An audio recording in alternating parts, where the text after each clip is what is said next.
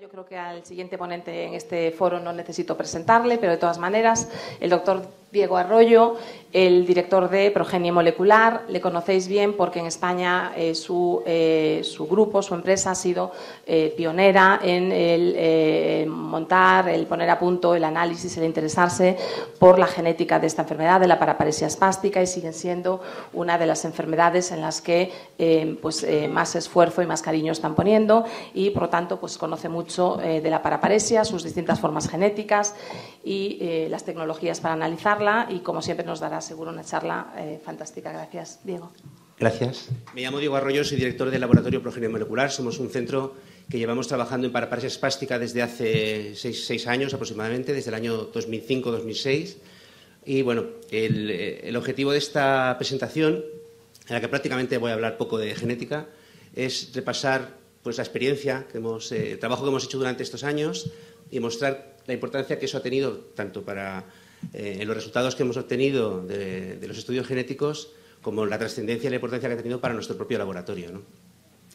Eh, bien, voy a presentar muy, rápidamente el, centro. Como, digo, soy el director del laboratorio, somos un equipo de 12 personas. Eh, somos un laboratorio, un establecimiento sanitario con todas las, autorizaciones, tanto de la, tanto de la autoridad competente en establecimientos sanitarios, que es la Generalitat Valenciana, en este caso, porque estamos en Valencia, como la Agencia Española de Medicamentos y Productos Sanitarios.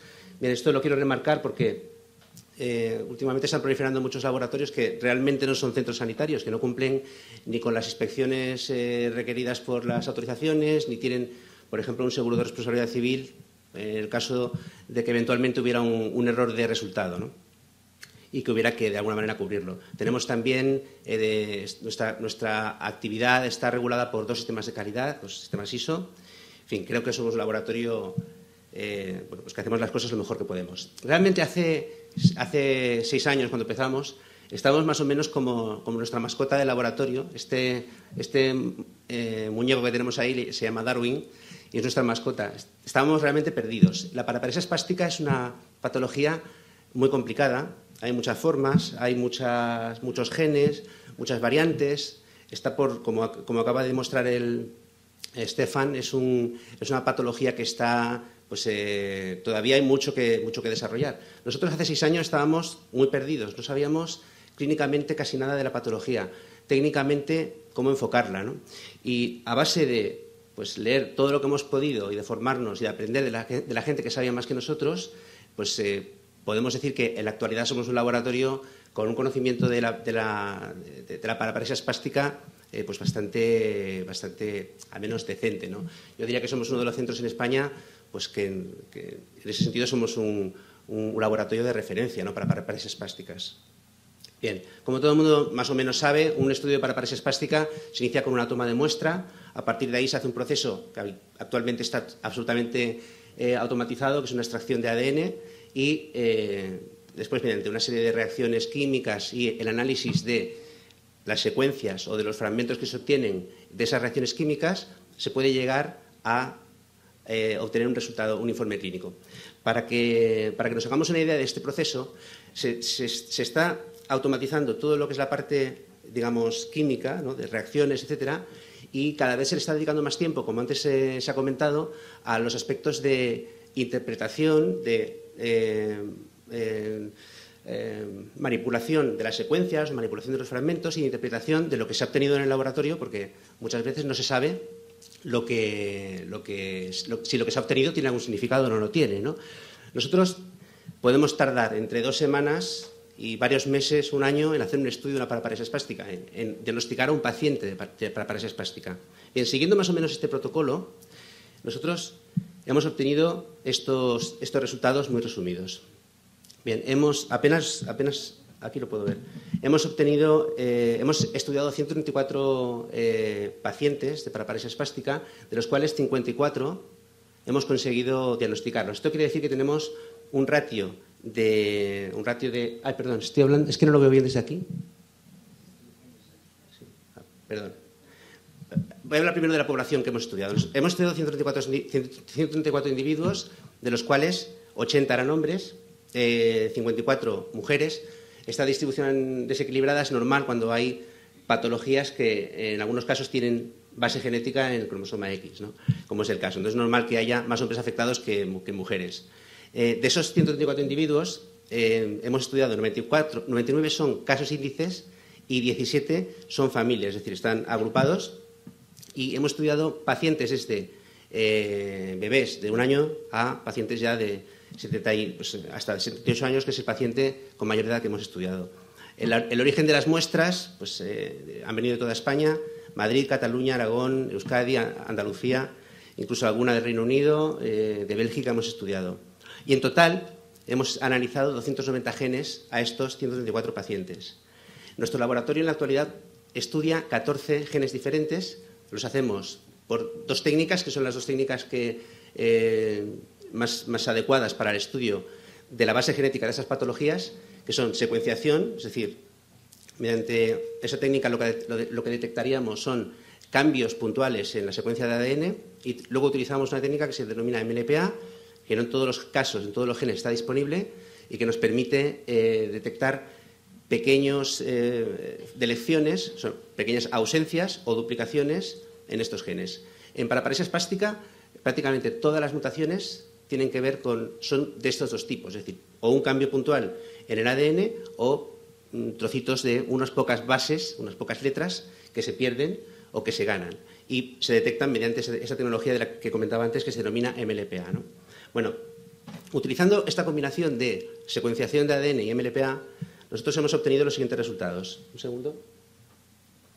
Hemos, hemos conseguido diagnosticar 54 pacientes, es decir, tenemos un, porcentaje de éxito en el diagnóstico del 40,3%. Hace un par de años apenas superaba el 30%.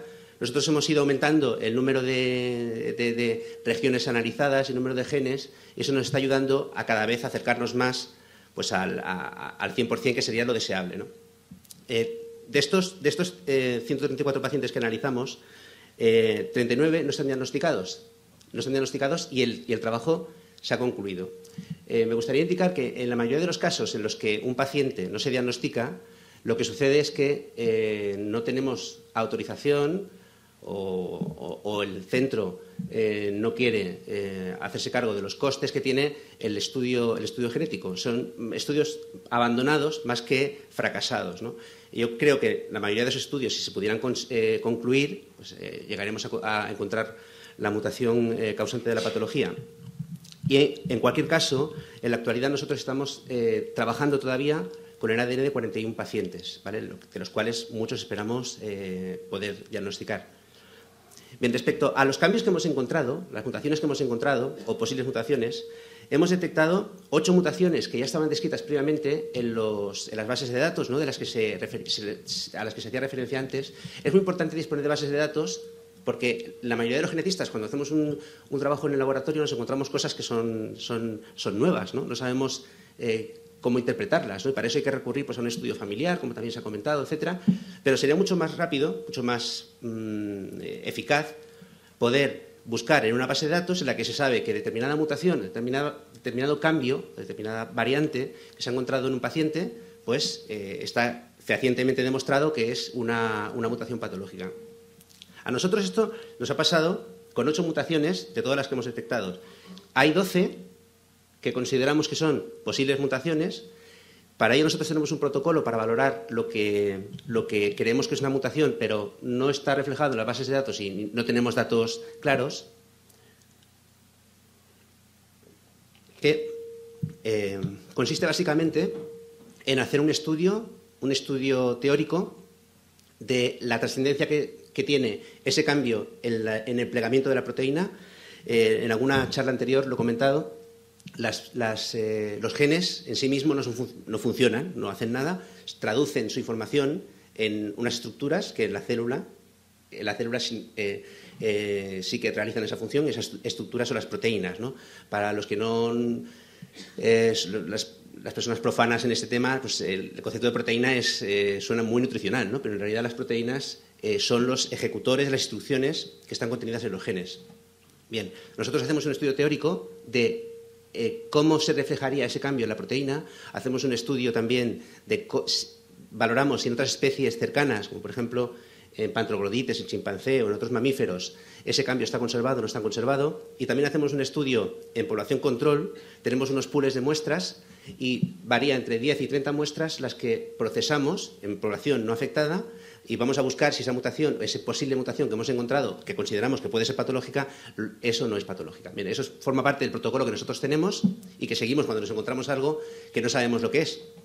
Pero realmente lo ideal es encontrárselo ya en las bases de datos y por eso es tan importante disponer de datos cuantos más mejor y cuanto mejor centralizados, pues mejor para todos. ¿no?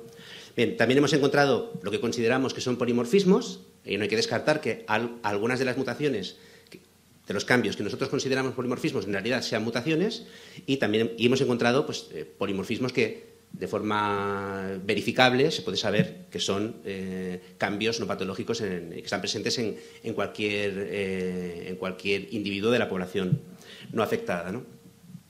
Bien, de esas, decía antes que de las mutaciones que hemos detectado, Siete, siete exactamente no están, no están descritas previamente. ¿vale? Y esas siete, eh, de, las, de las 20, siete indican que más o menos la mitad, aproximadamente la mitad de las mutaciones que, nosotros hemos encontrado no están descritas. Lo que viene a decir es que en muchos casos las mutaciones en paraparesia espástica eh, son mutaciones muy típicas de cada familia. Es decir, que eh, no hay como en algunas enfermedades, puntos calientes de mutación en los que se, encuentran en determinados genes, determinadas zonas y determinadas mutaciones que casi siempre son la base genética de la patología en, la mayoría de los individuos afectados. En paraparesia espástica podemos decir que eh, hay un, buen número de mutaciones, muchas mutaciones repartidas en el gran número de genes que hay asociados a paraparesia espástica y que en muchos casos son mutaciones propias de cada familia. Bien, respecto a las mutaciones, eh, a pesar de que nosotros estudiamos de forma completa 14 genes, de forma completa por secuenciación eh, y, mediante esa técnica de MLPA, los que se pueden estudiar, que no son todos, solo hemos encontrado mutaciones en siete. La mayor parte de, eh, los pacientes con formas autosómicas dominantes hemos encontrado, como también está reflejado en la bibliografía, que tienen mutaciones en el gen SPAS, la forma 4 de paraparesia, en nuestro caso, incluso en una proporción más alta de lo que suele reflejar. Nosotros hemos encontrado 70 y pico por ciento de los pacientes que tienen mutaciones de los pacientes con paraparesia espástica dominante, autosómica dominante, en, el gen SPAS. La bibliografía suele reflejarse pues, en, torno, al 40, al 50%, pero no en nuestro caso. No sé si eso refleja nuestra propia población de individuos estudiados o refleja eh, eh, el tipo de, de, valoración clínica que hacen los médicos que a nosotros nos envían los pacientes. ¿no?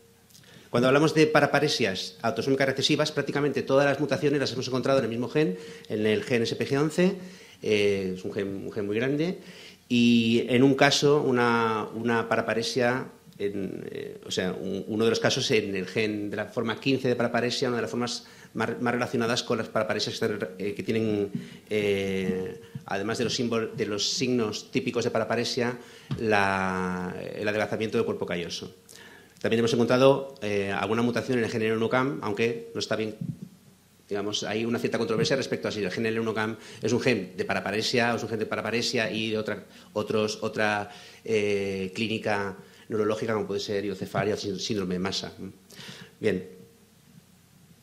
Bueno, este tipo de este trabajo que nosotros hemos realizado, además de aportar eh, de la labor asistencial que hacemos, es decir, de aportar información para que las, las familias puedan eh, evitar transmitir las patologías, eh, nos ha permitido a nosotros tener una cierta actividad científica. Por ejemplo, hemos preparado, hicimos un, trabajo de fin de máster eh, basado en paraparesia espástica familiar, con el título de Estudio Genético de Paraparesia espástica familiar en España. Nos ha permitido hacer una comunicación oral en, la, en la, reunión anual de la Sociedad Española de Neurología, la comunicación que hizo el doctor Ignacio Pascual. Eh, y ahora, en la próxima reunión que hay dentro de tres semanas, vamos a presentar dos comunicaciones, una oral y otra tipo póster.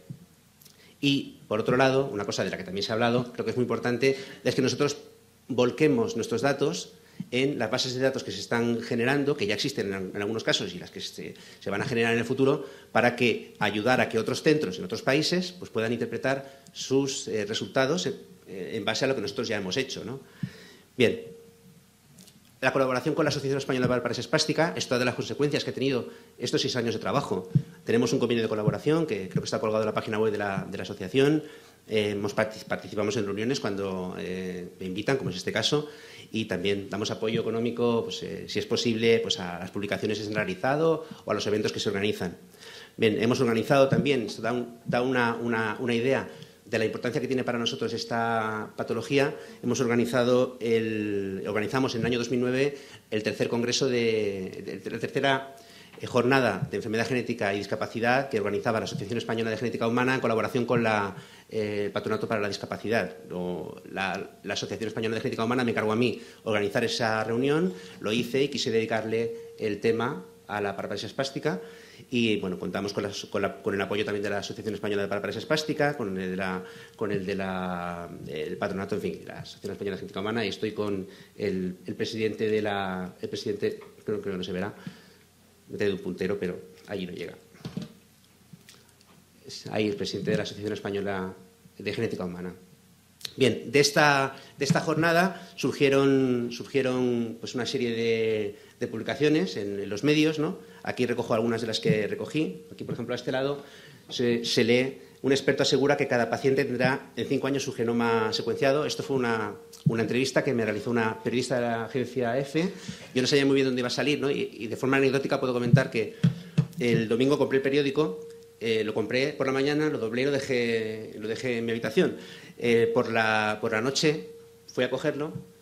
La entrevista fue el viernes. El domingo, cuando, el domingo por la noche, ya la jornada fue el sábado, yo estoy muy ocupado con la jornada tal. El domingo fui a coger el periódico, lo abrí y leí el comentario. ¿no? Un experto asegura que cada paciente tendrá en cinco años su genoma secuenciado. ¿no? Esto lo dije en 2009 Quiere decir que en 2014 más o menos debería ser así.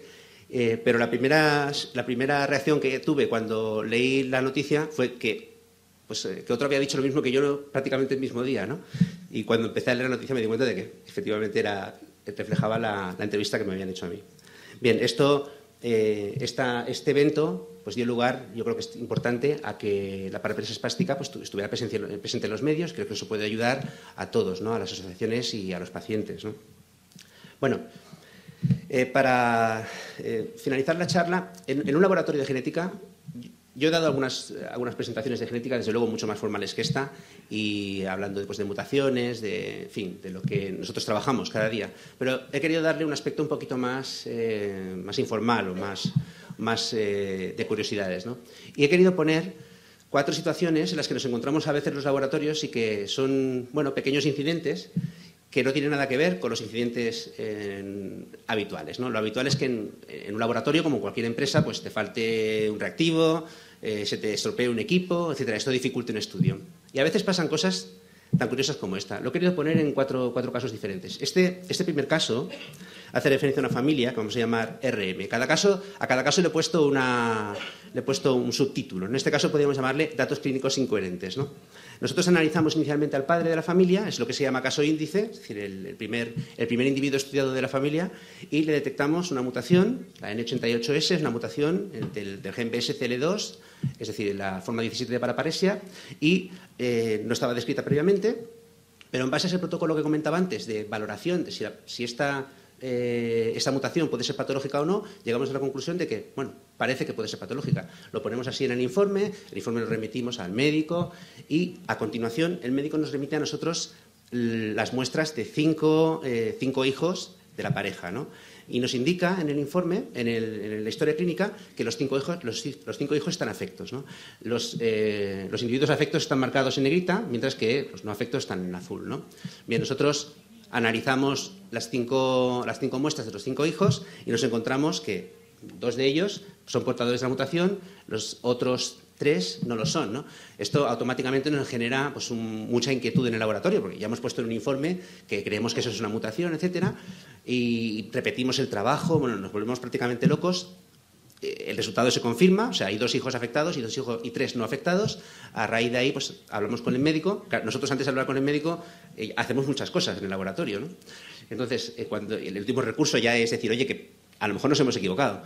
Es lo que hacemos. Hablamos con el médico y le comentamos la situación y la situación eh, nos dice, bueno, es que en realidad lo que pasa es que para que la gerencia del hospital nos autorice a hacer los estudios, he tenido que poner que los cinco son eh, eh, los cinco hijos están afectos, pero solamente están afectos dos de ellos, ¿no? Y claro, bueno, pues es una circunstancia con la que es muy difícil, es muy difícil esperarse, ¿no? esto es un médico a que yo particularmente tengo mucho cariño, pero aquel día estuvimos a punto de, de matarlo, ¿no?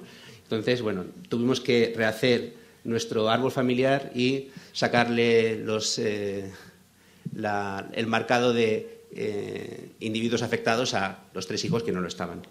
Otro caso curioso es un caso que además es uno de los que vamos a presentar en, la, reunión anual de la Sociedad Española de Neurología dentro de unas semanas.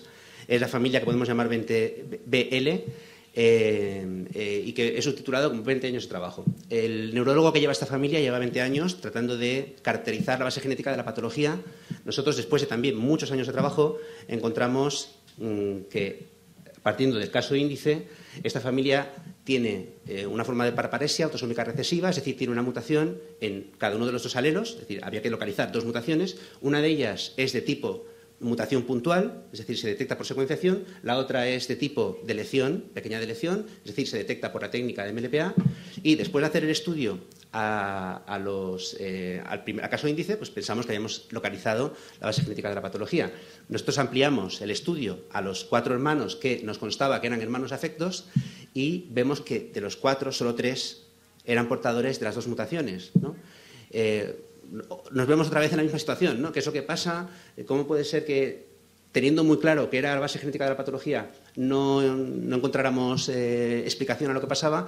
Y después de hablar con el hospital, lo que sucede es que este hermano que está señalado aquí con la N, en realidad está afecto de una enfermedad genética, pero no de esta. Pero nosotros en el, informe nos ponían que eran cuatro hermanos afectos de enfermedad genética. ¿no? Bueno, luego pudimos comprobar en los padres que efectivamente uno de los dos padres tenía uno de los alelos afectado de una forma y el otro, y el otro eh, y la madre tenía el, otro alelo afectado de la otra forma. Bien. Un caso también, un caso que he querido poner es eh, que podemos, podemos subtitular como disputas familiares que dificultan el trabajo, el trabajo de un laboratorio de genética. Bueno, nos llega una familia a la que le estudiamos el caso índice, esto es una, familia del 2007, a esta familia le localizamos una mutación eh, también no descrita previamente en el gen SPAS, en espastina, en la paraparesia eh, autosómica dominante tipo 4, y bueno, eh, llegamos a la conclusión de que esta mutación nueva, pues se tiene este, este, cambio tiene muchas, muchos puntos para poder ser considerado una, una nueva mutación. Bien. Eh, no es nada extraño para nosotros, por lo tanto, pues seguimos trabajando. Nos llega otra familia al laboratorio, familia que podemos decir dos. A esta familia le estudiamos el caso índice y en el año 2008, un año más tarde, le encontramos una mutación nueva en el gen SPAS para paredes espástica tipo 4 y es la misma mutación que la familia anterior. ¿no? Bueno, ya tenemos que hacer un poquito más, porque no es, como ya he dicho antes, es, es poco habitual que haya tantas mutaciones repetidas, pero y más que son nuevas, pero dices, bueno, puede ser eh, que sean familias que provienen de la misma zona, etcétera, ¿no? Un año más tarde, volvemos a estudiar un caso índice, en el año 2009, y nos encontramos eh, otra vez la mutación, la misma mutación nueva en el gen SPAS de la forma 4 de paraparesia espástica. Claro, la tercera vez ya nos pareció demasiado, ¿no? En realidad lo que pasaba, después de de recabar más datos y de reconstruir los árboles genealógicos era que lo que en principio eran una familia, en realidad son, o sea, tres familias, en realidad es la misma familia. ¿Qué problema tiene esto? El problema que tiene esto es que en lugar de estudiar un caso índice y por lo tanto, y a partir de ese caso índice, eh, poder extender ese estudio, el estudio de esa mutación al resto de la familia, pues lo que tuvimos que hacer es estudiar tres casos, tres casos índices por separado, con el coste que eso supone, el tiempo que eso supone, etcétera. La base de este problema era que, por lo visto, aquí había miembros de esta familia que entre ellos no se hablaban, ni siquiera eh, le, decían a los médicos que había otros familiares afectos en, otras zonas alejadas, digamos, del árbol familiar. Entonces, bueno, pues estas son circunstancias con las que, eh, desgraciadamente, a veces nos, encontramos también. Bien, y un caso ya el último sería el trabajo más sencillo que se puede hacer y, también lo quiero poner pues para que eh, tratar de transmitir cómo, cómo, trabajamos nosotros, a pesar de que somos una empresa privada, de que vivimos del trabajo que hacemos, es decir, cobramos las pruebas que hacemos, les cobramos a los particulares, les cobramos a los hospitales, pero yo creo que eso se puede hacer también desde un enfoque ético del trabajo. Esa es una pareja joven que acude a nosotros porque eh, bueno, quieren tener hijos, él está afectado de paraparesia espástica, un hermano suyo también y su padre también. Todo apunta que es una forma dominante de paraparesia. Eh, se le está realizando un estudio genético en eh, un hospital de Valencia. nos dice qué formas de paraparesia se le están estudiando. Mm, de todas formas, la pareja está muy cansada porque llevan muchos meses sin decirles nada, creen que se han olvidado de ellos, etcétera. Y entonces nosotros valoramos su caso, le pasamos un presupuesto, proponemos hacer el estudio del gen eh, para paraparesia espástica tipo 3, por las características que me indicó. Mm, e-, era justamente el mismo gen que se estaba estudiando en este hospital de Valencia. Eh, aceptan el presupuesto, se le sacan sangre, tenemos la sangre en el laboratorio y yo no estaba tranquilo pensando que a esta pareja, o a él en particular, se le podía estar haciendo ese mismo estudio en Valencia, que se van a gastar un dinero, que, en fin, eh, era trabajo repetido. Así que insistí en que me dejaran tratar de localizar al médico para ver si el médico me decía algún dato. eso es lo que pasó. Localicé al, médico, eh, el estudio estaba finalizado, por un problema administrativo no se les había comunicado, pero estaba ya el informe redactado, la mutación se había encontrado, etcétera. La pareja pues, se lo comuniqué, se pusieron muy contentos. Bueno, nosotros eh, esa prueba no la cobramos, pero por lo menos pues, me regalaron una, botella de vino. ¿no? Bien, eh, para acabar ya, presentar a mi equipo, parte de mi equipo. Eh, como, como, pueden ver, estoy muy bien acompañado y no solamente porque son todo chicas guapas, sino porque realmente son muy buenos profesionales. Y también quiero compartir con vosotros el, lema de nuestro laboratorio, que es una, una frase del doctor Livingston, ir a cualquier sitio siempre que se hace adelante, es lo que nosotros hemos hecho desde que empezamos eh, con la parapresa espástica y gracias a ese trabajo pues, estamos en un, momento eh, muy bueno respecto a, esta patología. Eh, nada más, muchas gracias.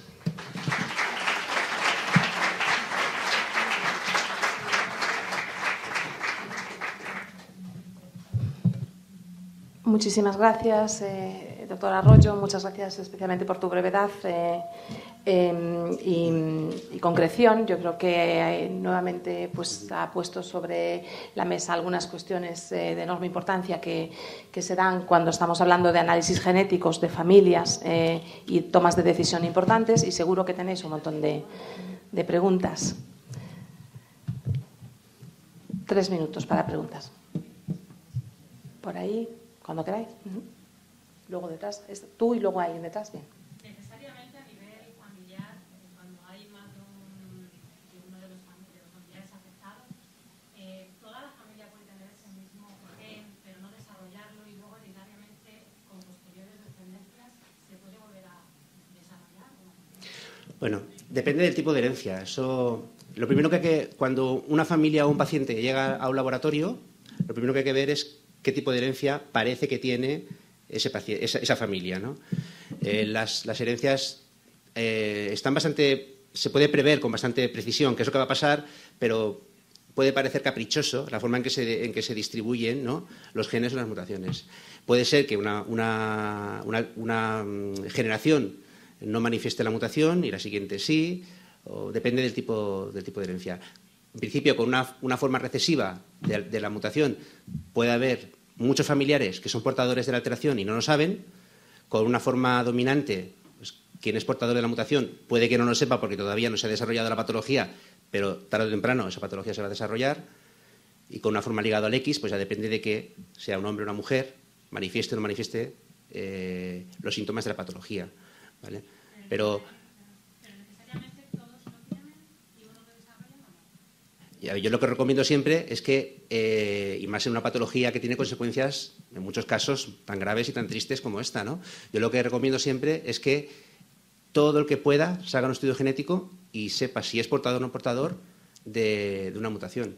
Hacerlo además a partir del estudio del caso índice, es decir, cuando se conoce la mutación del primer estudio, el resto de los familiares hacerlo es relativamente rápido y poco costoso. Eh, yo creo que no, tiene ninguna discusión. Para mí es eh, fundamental hacer un estudio genético tan amplio como sea posible, tan amplio. También es verdad que analizando el árbol, el árbol familiar es posible que haya ramas de la familia que se sabe que van a estar fuera de la, de la o sea, que no, que no, van a compartir la mutación con el caso índice. Entonces, en ese caso, ¿para qué hacerlo? ¿no? Pero si hay un riesgo de que, que sean portadores, yo creo que hay que hacerlo. ¿Hay otra pregunta por ahí atrás?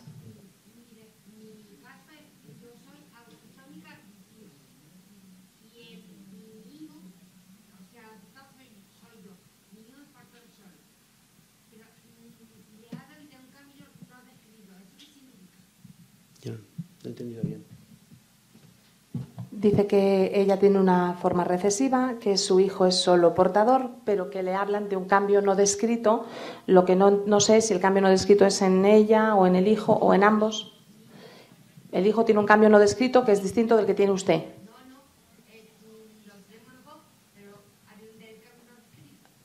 Entiendo que ella tiene dos cambios, uno de ellos no descrito y el no descrito lo tiene el hijo. ¿Y eso qué significa? Vamos a ver, si, si, si tú, te voy a tutear, tienes una forma recesiva de, paraparesia, eh, tienes que tener dos mutaciones, una en cada alelo. ¿vale? Eh, puede que la que no ha sido descrita sea una mutación o no. Si no es eso, hay otra cosa, ¿vale? Que la, tienes que tener. Entonces, eh, lo primero que hay que hacer es caracterizar bien si esa mutación, esa mutación no descrita, es realmente o no una mutación. Eso se puede hacer mediante aproximaciones, en algunos casos teóricas, o con un estudio familiar amplio. En los casos de paraparesia recesiva, a veces es difícil hacer un estudio genético, o sea, valorarla de forma familiar, porque en muchas ocasiones las mutaciones eh, no aparecen hasta, en fin, están repartidas de una forma muy, muy repartidas en la, en la, familia. Eh, no puedo decirte de,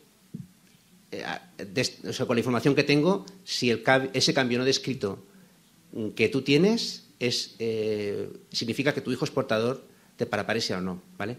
En cualquier caso, si tú eres portadora de una paraparesia recesiva y tienes dos alelos con, eh, con, una mutación, tu hijo tiene que ser portador forzosamente de un alelo con la mutación. Lo que no quiere decir es que sea ese cambio que tú tienes. No sé si me he explicado. Tienes una mutación descrita y una no descrita. ¿vale? La que no tienes descrita, pues eh, eh, no se sabe si es mutación, pero lo normal es que esa mutación no descrita esté en el mismo alelo en la que sí que tengas una mutación o esa misma es la mutación, no lo sé. ¿Vale? Es decir, tu hijo tiene que ser portador de una mutación. Ah, lo que no sabemos es si es esa. ¿vale? Bueno, quizá luego si hay alguna duda le puede preguntar y continuar un poquito más la discusión más específicamente. Un par de preguntas por allá atrás.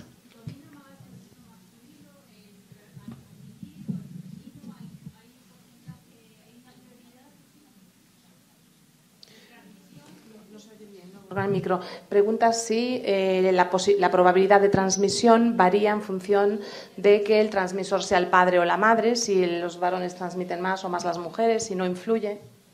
Sí, bueno, la probabilidad de transmisión depende de transmisión de la mutación es una cosa y de transmisión de la patología es otra. Si la, si la mutación es dominante, eh, los hijos tienen un 50% de posibilidades de heredarla o no. Si la mutación es recesiva, pues la van a heredar seguramente. Ahora, ¿en qué probabilidad pueden heredar la mutación? O sea, ¿a qué edad puede, puede, pueden eh, desarrollar la enfermedad? Pues ya dependerá de que el otro progenitor sea portador de mutaciones o no. En fin, eh, eh, no sé si,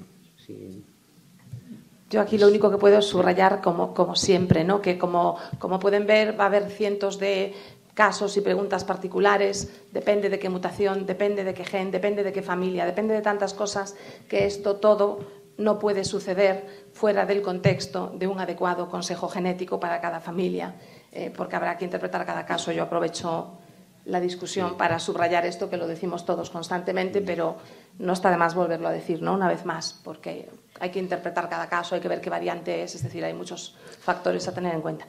Quizá la última pregunta.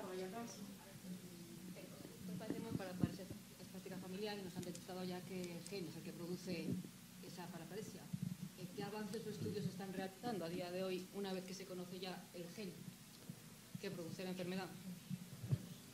La verdad es que por aquí apenas se escuchó, ¿no, Diego? Quizás si me los repite. Ah, sí, repito, repito, perdona. A ver, eh, parecemos para, para parecer plástica familiar, tres personas de la familia nos han detectado qué gen lo produce. Entonces, una vez que se conoce ese gen, ¿qué estudios o avances se, se están realizando? Y si afecta mucho el que, como yo he oído aquí, puede haber hasta 200 genes diferentes que producen esta enfermedad. Es decir, ¿qué se, qué se está haciendo? Básicamente, ¿qué pasa una vez que yo ya sé cuál es mi gen y mi mutación? Vamos, ¿qué avances ha habido? ¿Qué avances ha habido? Que no sea. No sé si el doctor Arroyo quiere tocar un poquitito ese tema, no era realmente el terapia, tema de la presentación. terapia, Sí, ¿qué avances ha habido un poquito? Pues claro, estamos hablando todo el tiempo de identificar el gen y la mutación y efectivamente, bueno, pues vale, eso es importante. Muchas personas no han llegado aún siquiera a ese paso, pero una vez los que sí eh, han llegado a saber cuál es su mutación, ¿qué novedades hay o qué perspectivas ver, así un poco son? Yo no soy una persona, digamos, autorizada para hablar de terapia porque no, no es mi campo. Mi campo es el diagnóstico. Eh, yo, de hecho, en la jornada que he mostrado antes que, que organicé en el año 2009, quise invitar a una persona que era, era especialista en terapia génica porque me interesaba mucho ese tema. Porque, claro, nosotros siempre transmitimos un, un mensaje que es muy frustrante, ¿no? Es decir, hemos encontrado una mutación, bien, podemos ayudar a que la familia, esa mutación ya no, no se transmita, pero no podemos hacer nada por los afectados, ¿no? Eh, realmente no lo sé. Eh, para mí, yo me llevé una sorpresa en aquel momento y es que mm, yo pensaba que el tema de terapia génica estaba mucho más eh, poco desarrollado de lo que está. Incluso hay eh, algunos trabajos de terapia génica específicos de paraparesia espástica, con lo cual, eh, bien, creo que se, puede, que se puede tener una cierta esperanza. Lo que sí es cierto es que un tejido, cuando ya está formado, mm, es muy difícil volver a conseguir que ese tejido sea funcional si no en fin, si ya se han generado estructuras moleculares eh, en mal estado. ¿no? Lo que se puede conseguir en cualquier caso, defínate, eh, terapia génica, pues es que eh, los organismos de las personas que están, niños, etcétera, que tienen que desarrollar todavía esos tejidos, que son tejidos inmaduros, pues puedan ser, puedan corregir el defecto genético que tienen. Para adultos, eh, en ese tipo de patología es un poquito complicado.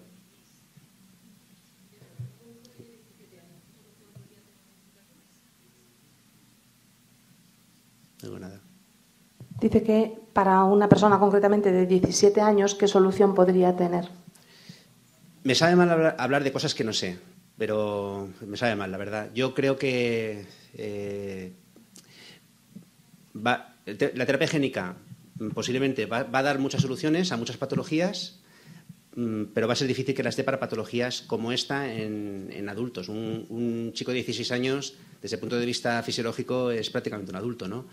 Mm, Es complicado. Yo no, pero me sabría mal decir algo que no forma parte de mi especialidad y, por lo tanto, puedo decir cosas incorrectas, ¿no? Me da la impresión de que es difícil, ¿vale? Mm, Vamos mal de tiempo. Están aquí los siguientes presentadores, ¿no? Las siguientes, eh, la última participación. Como no los veo por ahí. Ah, sí, perdón. Bueno, pues nada, eh, hubo un cambio y vamos a tener que, que cortar las- este tema. Yo sé que es muy importante y que tenemos todos miles de cuestiones y podemos sentir todos la tentación de continuar un poquito porque hay más cosas que decir, ¿no? Pero, pero realmente debemos eh, movernos eh, y vamos a pasar a- la- a la última presentación.